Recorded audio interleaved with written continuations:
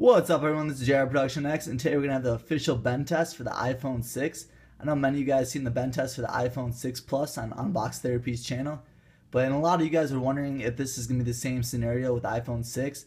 So we're going to test it out and see what is the, the breaking point to cause it to bend or even if it will bend. Before we get started with this test, I want to make sure you guys know about the giveaway that's going on right now. You have your chance to win a free iPhone 6 or 6 Plus, so make sure you check that out.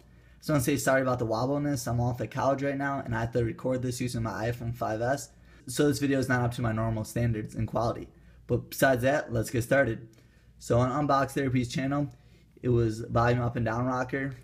That was the upside. And you press it right in the middle. Just like so. And I'm pressing pretty hard. See nothing yet. Alright.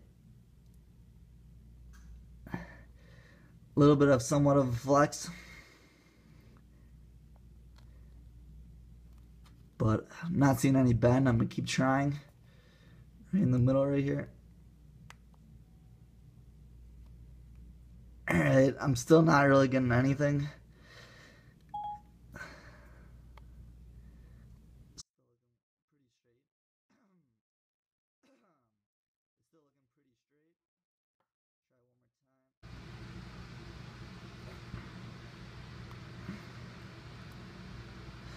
Pressing pretty hard right in the middle and I really can't get anything.